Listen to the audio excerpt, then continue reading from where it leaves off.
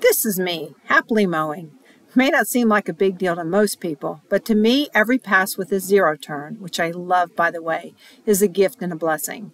I was raised a military kid, moved every three to four years, and always lived in traditional neighborhoods.